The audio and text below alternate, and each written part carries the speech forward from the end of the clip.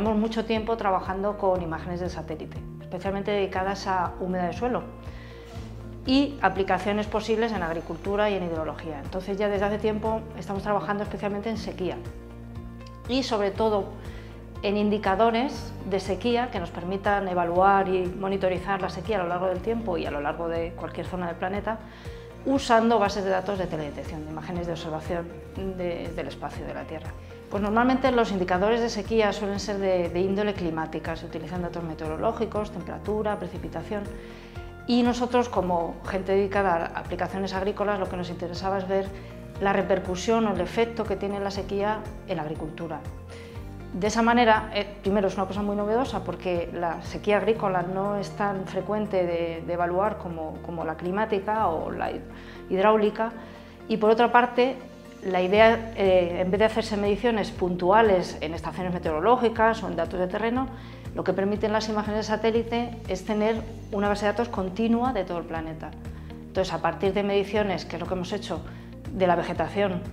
por satélite, de la temperatura también por satélite y especialmente de la humedad de suelo,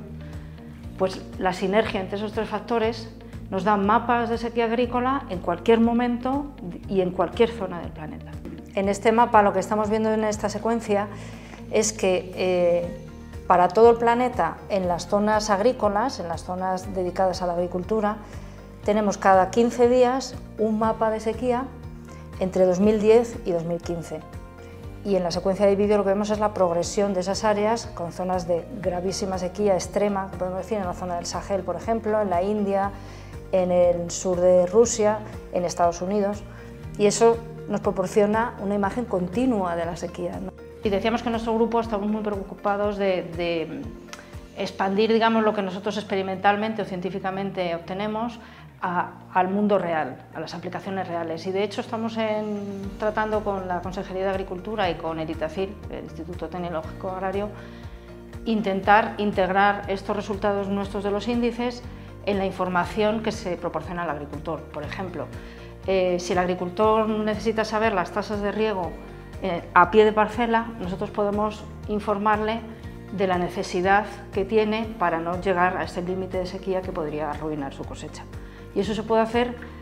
casi casi en tiempo real porque las imágenes de satélite con uno o dos días tenemos información.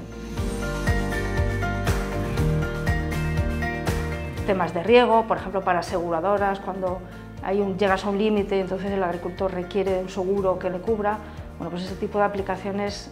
son, muy, son factibles con este tipo de, de indicadores. La idea de este índice y de alguno más que tenemos en nuestro grupo es eh, hacerlo operativo y eso mm, supone que hay que